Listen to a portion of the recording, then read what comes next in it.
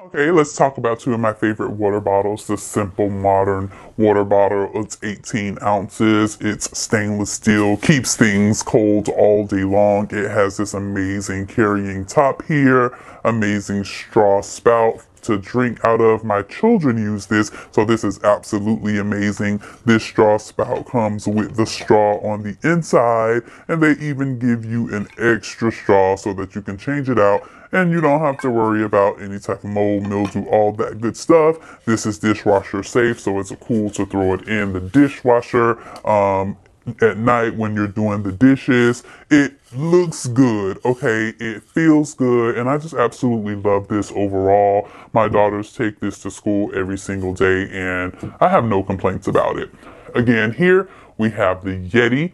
It is about 64 ounces, I believe. And this is to make sure you get your water in container, okay? This is the one that holds all the water for the day. It can get pretty heavy, I gotta say, but this top makes it that much easier. This lid makes it easy to carry with no problem all day, every day. When you take this off, I love that it has this clear um, spout top here so that I know when it needs to be cleaned, which get cleaned cleaned, it gets cleaned regularly, but you also can take this lid part off so that you can add additional water and ice on the inside there. It's heavy duty. It's, it's the Yeti quality, so it's absolutely amazing. It's stainless steel. It looks good, feels good, and I absolutely love using this thing. So the Yeti and the simple modern water bottles, ramblers, tumblers, whatever you want to call them. I recommend them both. They both are amazing and you definitely cannot go wrong with, with which with either one that you choose.